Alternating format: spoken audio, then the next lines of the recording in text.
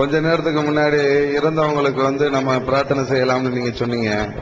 இதுக்கு முன்னாடி நம்ம வந்து இதே ஜமாத்துல கத்தம் பாத்தியா ஓதி அவங்களுக்கு நன்மையை சேர்க்கறது வந்து நம்ம பித்தத்துன்னு பிரச்சாரம் பண்ணிக்கிட்டு இருக்கோம் இந்த அடிப்படையில அந்த மக்கள் வந்து தவறா எதுவும் புரிதல் கொண்டுருவாங்களோன்ற அடிப்படையில இந்த கேள்வி அமைஞ்சிருக்கு. இதுக்கு பதில் சொல்லுங்க. என்ன கேட்கிறாருன்னா இறந்தவர்களுக்காக வேண்டி ஈமானோட இறந்தவர்களுக்காக வேண்டி நம்ம துவா செய்யலாம். அல்லாவே அனுமதிச்சிருக்கான்னு சொன்னோம்ல.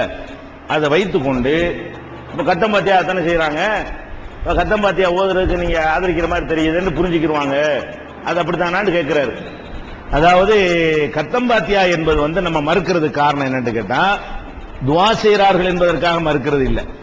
கத்தம் பாத்தியா வந்து இல்லைன்னு சொல்றோம்ல அதை நம்ம இல்லைன்னு தான் இப்பவும் சொல்றோம். அந்த பதில் சொன்ன பிறகும் இது இதான் அர்த்தம். கூடாதுங்கிறது தான் கருத்து. ஏன் அப்படி சொல்லுகிறோம் என்று கேட்டால் அதுக்கு பல காரணங்கள் இருக்கிறது. ஒரு காரணம் என்னன்னு கேட்டா துவா செய்வதாக இருந்தால் அவங்கவுங்க தான் செய்யணும். கூலிக்கு துவா செய்யக்கூடாது. ஃபர்ஸ்ட் மேட்டர் என்னது? உங்க வாப்பாவுக்கு நீங்க கேட்டீங்கன்னா உள்ளத்துல இருந்து கேட்பீங்க. என்னைய கூட்டிட்டு வந்து உங்க வாப்பா கேட்க சொன்னீங்கன்னா உங்க வாப்பா சொர்க்கத்துக்கு போனா எனக்கு என்ன நரகத்துக்கு எனக்கு என்னங்கிறேன். நீங்க என்ன செய்றீங்க? கொடுக்குற ரூபாய்க்கு தகுந்த கேட்டு போவேன். ஐநூறுரூவா கொடுத்தா கொஞ்சம் பெருசாக பேசுவேன். சின்ன நூறுரூவா கொடுத்தா சின்ன துவா ஓதுவேன். இது மாதிரி போயிடும் அப்போ நீ- உங்க வாப்பாக்கு நீங்க கேட்டுக்கிறீங்க. உங்க உமாக்கு நீங்க கேளுங்க. என்னை கூட்டு கேட்க சொன்னா எங்க உமாக்கு நான் கேட்பேன். உங்க உமாக்கு கேட்கணும் எனக்கு என்ன இருக்குன்னு? எனக்கு என்ன இருக்கு? ஒரு வீட்டுக்கு வருவேனா? பெரிய வீடா இருக்க இருநூறு தருவாங்களா? அப்ப இப்படி கேட்கிற துவா வந்து அல்லாட்ட போகுமா? அல்லாட்ட எந்த துவா போகும்? இன்னமா எத்த கப்பல் உருவாகும் முத்தகி உள்ளச்சம் உடையவர்களிடம் தான் அல்லா எதையுமே ஏற்றுக்கொள்கிறான். அப்ப காசுக்காக வேண்டி ஒருத்தர் கொடுக்கற தச்சனைக்காக வேண்டி சொன்னாருன்னா அது இப்படி ஒரு அது துவாவில் இப்படி வரும். துவாங்கிறது அல்லாவுக்கா இஹ்லாசோட அழுது மனமுருகில கேட்கணும். அப்ப மனமுருகுதல் எங்க வரும்? அவரவருக்கு தான் வரும். இது ஒரு விஷயம். அதனால என்ன செய்யற அந்த கத்தம்பாத்தியாவுல வந்து உங்களை அல்லாட்ட கேட்க விடாம ஆக்கி நீங்க கேளுங்க நம்ம தொழுகையில கேட்டுட்டு தானே இருக்கிறோம். பெற்றோர்கள்லாம் துவா செய்யறது இல்லையா? அப்ப துவா நீங்க எல்லாரும் செய்ய டெய்லி செய்யுங்க அப்படின்றது ஒண்ணு. இரண்டாவது வந்து துவா செய்யலான்னு மார்க்கத்தில் அனுமதி இருக்குது. அவங்கவுங்க செய்யலான்னு அனுமதி இருக்குது. அதை கூட நீங்க என்ன செஞ்சீங்கன்னா ஒரு டைம் பிக்ஸ் பண்ணீங்கன்னு வைங்க அது குற்றமாயி போயிடும் துவா செய்யலாம்னா துவா செய்யலாம். உனக்கு விருப்பமான நேரத்தில் செஞ்சுக்கேன்னு எப்படி செஞ்சிடக்கூடாது? துவா செய்யலாம்னு இருக்குது. அதனால ஏழாவது நாளைக்கு எல்லாரும் துவா செய்யுங்க. இது சொல்ற நீ யாரா நான் எட்டுலையும் செய்வேன். நீ அங்க இருக்கிறத அல்லாஹ் துவா செய்ய சொன்னானா துவா செய்ய சொன்னான்னு தான் நான் சொல்லணும். நான் என்ன செய்யக்கூடாது? ஏழுக்கு செய்யி முப்பதுக்கு செய்யி நாற்பதுக்கு செய்யின்னா இந்த நம்பர் கூட நீ யாரு? நேற்று என்னது? நீ என்ன குறிப்பிட்ட நாள் ஆக்குற நான் டெய்லி கூட செய்வேன்ல. இன்னைக்கு அஞ்சு அஞ்சு வேலையும் தொழுதுட்டு துவா செய்யறத விட்டு விட்டு வருஷத்துக்கு ஒரு பாத்தியா வேணும் நினைக்கிறானே? அப்படி ஆக்கிவிட்டானே? பெத்த அப்பனுக்காக வேண்டி பெத்த தாய்க்காக வேண்டி டெய்லி துவா செய்வோம் அஞ்சு வேலையும் செய்வோம் தேடிக்கிட்டே இருப்போம் நேரம் கிடைக்கும் போலாம் செய்வோம் அப்படின்னு ஒரு சமுதாயத்தை உருவாக்கி இருந்தா எவ்வளவு துவா கிடைச்சிருக்கேன் இன்னைக்கு என்ன நடக்கிறது? வருஷத்துக்கு ஒரு பாத்தி அஜத்தை கூப்பிடு. ஆ, அவன் துவா ஓதிட்டு போய் இவன் உட்காந்துட்டு பீடி அடிச்சு உட்காந்துட்டு இருக்கான். அசத்து துவா ஓதிட்டு இருக்கிறாரு. இவன் என்ன செய்யறான்? பீடி அடிச்சு வாசல் உட்காந்துட்டு இருக்கிறாங்க. இது இது துவாவா? அப்ப என்ன விளங்கணும்? கத்தம் கூடாதுங்கிற காரணம் என்னன்னு கேட்டா ஒரு குறிப்பிட்ட நாளில் அனைவரும் செய்ய வேண்டும் என்று தீர்மானம் பண்ணுவதற்கு நமக்கு ரைட் உண்டா? அனுமதி அனுமதின்னு சொல்லணும். ஒருத்தன் ஒன்னாவது நாள் செய்வான் ஒருத்தன் ரெண்டுக்கு செய்வான் ஒருத்தன் அவன் ரைட்ல விட்டுருணும் வாரத்துக்கு ஒரு காரத்தம் செய்வான் ஒருத்தன் டெய்லி பத்து தடவை செய்வான் ஒருத்தன் ரெண்டு நாளைக்கு ஒரு தடவை செய்வான் ஒருத்தன் மாத்து ஒரு தடவை செய்வான். அது அவன் அவனுடைய விருப்பத்தில் மார்க்கம் விட்டுருக்கும் பொழுது எல்லாரையும் ஒரு விருப்பத்தில் கொண்டு வந்து சேர்க்கிறதா இருந்தால் அது அல்லாவுக்கு அந்த ரைட் இருக்கு அல்லாவுடைய ரசூலுக்கு இருக்குது எந்த மனுஷனும் கிடையாது.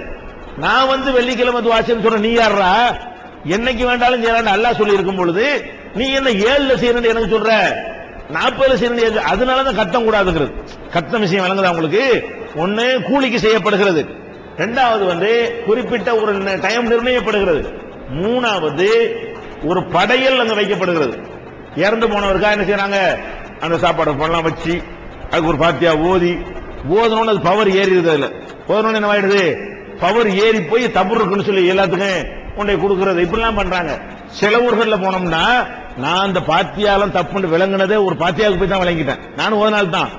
ஒரு பாத்தியாவுக்கு போய் தான் என்ன செஞ்சேன்? ஆஹா இப்படி இருக்கு இப்படி மார்க்கத்தில் இருக்காத எப்படின்னா ஒரு பாத்தியாவுக்கு போயிருக்கிறோம்.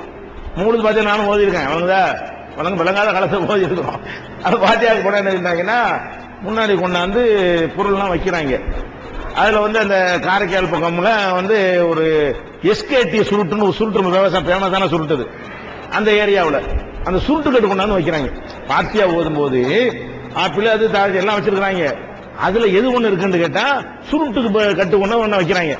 இருபத்தஞ்சு ஐம்பது சுருட்டு இருக்கும் ஒரு கட்டு. அதை கொண்டு வைக்கிறாங்க. இது என்னன்னு கேட்டேன்.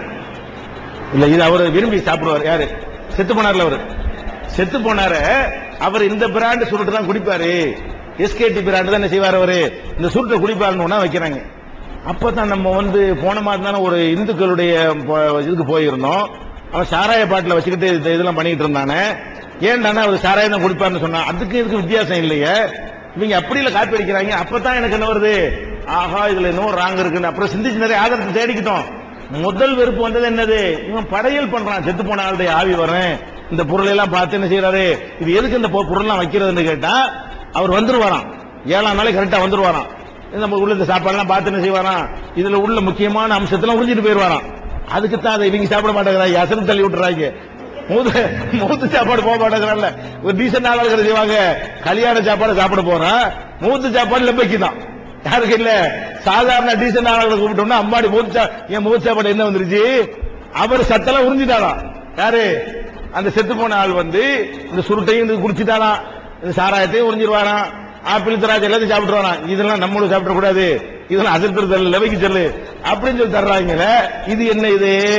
அப்பதான் நமக்கு தப்புன்னு விளங்குச்சு. அந்த மாதிரி ஒரு படையல் இது. செத்து போன ஆவி வருங்கிறது அடிப்படையில் நடக்குது.